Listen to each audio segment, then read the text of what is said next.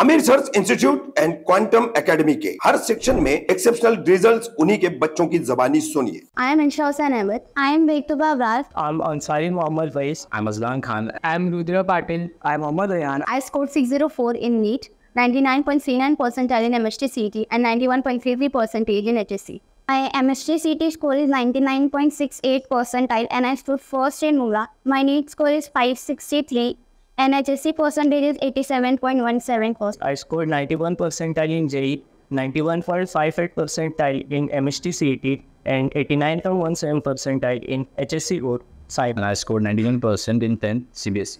And I scored 91% in ICSC board 10th result. I secured 91 percentage in CBSE board.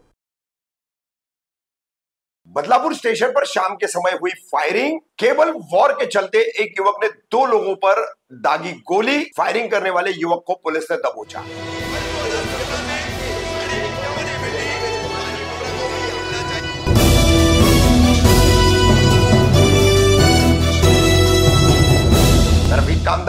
Hindustani reporter में आपका स्वागत है। गुरुवार 5 सितंबर शाम के 6 बजे के समय, छोटी बच्चियों के यौन शोषण कांड के बाद अचानक पूरे देश में सुर्खियों में बना रहा बदलापुर फिर एक बार सुर्खियों में आया। शाम के छह बजे एक युवक ने इस प्लेटफॉर्म से दूसरे प्लेटफॉर्म पर खड़े दो लोगों पर फायरिंग फायरिंग करने का कारण जो है, वो बाद में पता चला, लेकिन किस तरह से फायरिंग हुई, फिर कैसे फायरिंग करने वाला युवक भागने की कोशिश रेल पटरियों से करता रहा, फिर उसके बाद आरपीएफ और अन्य पुलिस कर्मियों ने उसे कैसे दबोचा, और इस दौरान कैसे भगदड़ बदलापुर स्टेशन पर मची थी। वो सब नज़ारा हम आपको दिखा रहे हैं। आपको बता दें कि फायरिंग करने वाले युवक का नाम, जिस, जिसे पुलिस ने गिरफ़्तार किया है, विकास पगारे बताया जा रहा है। वहीं उसने सामने के प्लेटफॉर्म पर, जिस पर फायरिंग की थी, उसका नाम शंकर संसारे है और उसका एक और साथी है।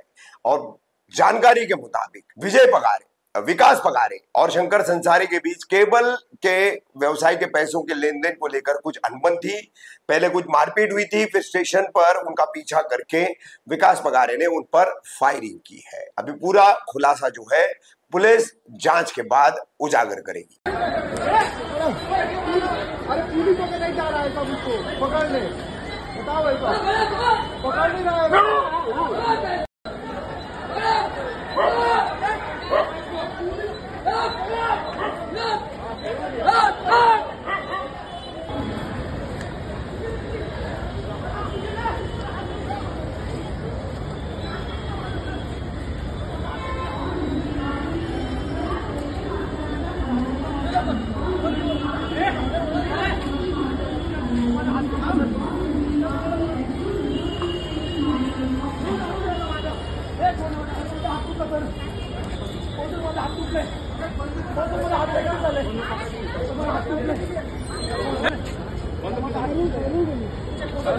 अरे तिथं पडली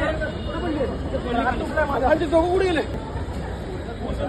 लवकर घेऊन बसणार बसणार बसणार त्याचे बंदूक पडले तिकडे.